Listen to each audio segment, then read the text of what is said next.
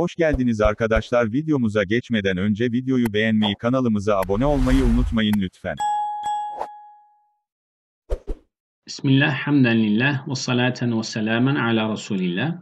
Merhaba arkadaşlar. Tecvid derslerimizin arızi sıfatlar kısmını oluşturan, harflerin bir araya gelmesiyle ortaya çıkan kurallara devam ediyoruz. Bu dersimizde e, ra harfinin okunuşuyla alakalı kaideleri ele alacağız. Hükmü ra arkadaşlar, kalın okunma yerleri var, ince okunma ve hem kalın hem ince okunan yerleri var. Ra harfinin kalın okunma yerleri. Ra harfinin harekesi üstün yani fetha ya da ötre yani diğer adıyla damme olduğu zaman kalın okunur. Rucume el ebrara örneklerinde olduğu gibi. Yine ra sakin öncesindeki harfin harekesi üstün ya da ötre olursa ve nur Ven har. Bakın ra sakin öncesi ötreli. Öncesi fetalı. Yine ra harfi kalın okunur. Ra sakin öncesi de sakin daha öncesindeki bulunan harfin harekesi üstün ya da ötre olduğu zaman. Mesela husr. Burada geçiş esnasında ince okunur ama durduğumuz için husr. Ra sakin öncesi sakin ön, son daha öncesindeki harfin harekesi ötre. Mesela fi sudur örneğinde olduğu gibi buralarda ra harfi kalın okunur. Dördüncü olarak arkadaşlar ra sakin ra'dan sonra gelen harf isti'la harflerinden biri ve üstün harekeyle gelirse önceki öncesindeki harf de esreli e, de olsa kalın okunur. Mesela fir normalde burada ince okunması gerekiyor ama sonrasına bakıyoruz. Sonrasında isti'la harfi gelmiş. Neydi isti'la harfleri? Hussa, dağıtin, gıylt yani kalın harfler. Kaf harfi gelmiş ve harekesi fetalı. Dolayısıyla bu ra'nın öncesinde bulunan esre harekeyi dikkate almayıp ra harfini firqa diye kalın okuyoruz. Mesela mir normalde ince evet ama sonrasına hemen bakıyoruz İsteyen harflerinden sap gelmiş. Dolayısıyla üstün harekeli mir sad diye mir sade ra'yı kalın okuyoruz. Beşinci olarak ise arkadaşlar ra sakin öncesinde hemzeyi vasıl olursa yani kesreyi arizeden sonra ra harfi gelirse ra harfi kalın okunur. Emir tabu buradaki ir tabu normalde ama bu öncesinde bulunan em emi buraya bitiştiği için e, hemze-i vasıl düşüyor, okunmuyor. Emir bu şekilde eğer arada bir esre, e, arize bir e, hemze varsa buna e, bunu kalın okumamız gerekiyor. Limenir teda limenir teda mesela irci'i hemze vasıl irci'i şeklinde ra'yı kalın okuyoruz. 5 tane ra'nın kalın okunduğu yerler var. Ra'nın ince okunduğu yerler ise 4 tane. Hemen onları da görelim. Ra harfinin harekesi esri olursa enil rib ricalun. Ra harfinin harekesi ra sakin ma kablis. Yani öncesindeki harf esreli olursa. Ra sakin bakın. Ama öncesi mir, feka, fir, devus örneklerinde olduğu gibi. Yine ra sakin öncesinde sakin daha öncesi esreli olursa. Kadir durursak. Burada durduğumuz zaman. Eğer geçersek ra'nın harekesi ötreli olmuş oluyor. Yani tenvin ötreli. Dolayısıyla burada kalın oku. Kadirun dersem kalın. Ama kadir diye durduğumuzda ince. Hincr. Hincr durduğumuzda ince. Basılı da ince zaten esra harekeli.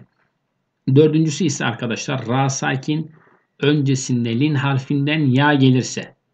Lin harfi neydi? Ya cezimli e, makabli fetalı. Yine vav cezimli makabli fetalı lin harfleri oluyor ama burada sadece ya gelirse. Hayır diye durduğumuzda. Seyir diye durduğumuzda ne olacak? Ra'yı ince olarak okumamız gerekiyor vakıf halinde. Yine imale yapılan e, Kur'an'da Hafs'ın rivayetine göre e, bir tane yer var imaleli okulan mecraha kelimesi. Mecraha normalde ama imale olduğu için ince yapacağız. Mecriha. Mecriha. Ra harfi burada ince okunur. Ra harfinin arkadaşlar hem ince hem de kalın okunduğu 3 tane yer var. Onları da hemen ele alalım. Ra sakin sonrasında istihla harflerinden biri gelir ve esreli olursa. Eğer fetalı olsaydı zaten kalın okunuyordu. Küllü firqin. Küllü firqin. Kur'an-ı Kerim'de tek örnek budur. İnce vecih öncedir. Yani firqin önce gelir. Kalın da okunabilir. İkinci örneğimiz arkadaşlar. Ra sakin öncesinde sakin isti'la harfi olur ve daha öncesinde esreli bir ince harf gelirse vakıf halinde iki vecih olur. Vakıfta.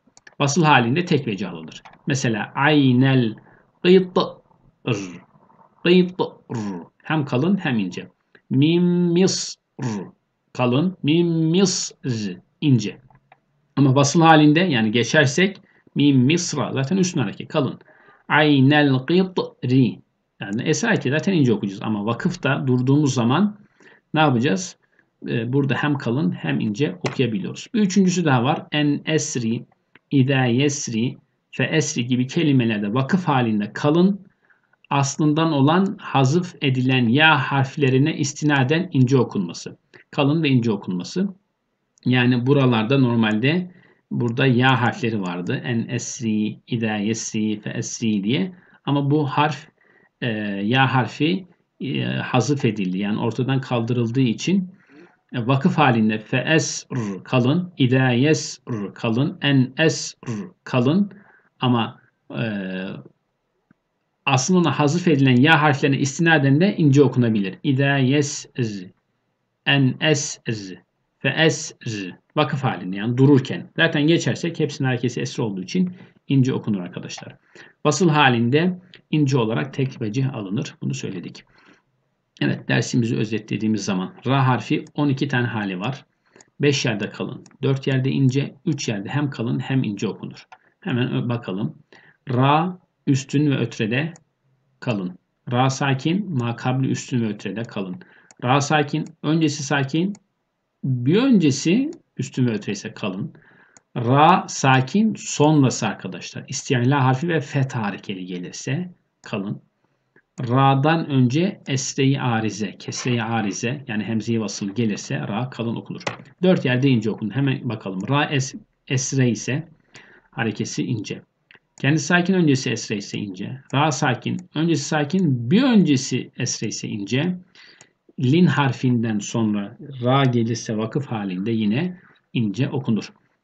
Hem kalın hem ince okunduğu yerler küllü firqin, küllü firqin, aynel qitr bunlar vakıf halinde. Aynel qitr, qitr, qitr, mim misr, mim misr.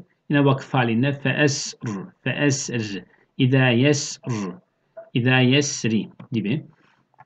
Not arkadaşlar şeddeli harflerde vasıl halinde şeddenin harekesi baz alınır. Şeddeli ra harfinde vakıf yapılacaksa ra sakin kabul edilir. Öncesindeki harfin harekesi baz alınır. Mesela bil hur kelimesinde öncesindeki harfe bakıyoruz. Bil hur vakıf halinde e, kalın vasıl halinde ise ince okunur. Bil hurri bil hurri yani ikisi deyince ama vakıfta bil hur ikisi kalın. Vasılda geçiş esnasında bil hur bil hurri ikisi de ince olarak okunur. Bir sonraki dersimizde görüşmek dileğiyle Allah'a emanet olun. Videomu izlediğiniz için teşekkür ederim. Abone olmayı, beğenmeyi unutmayın lütfen.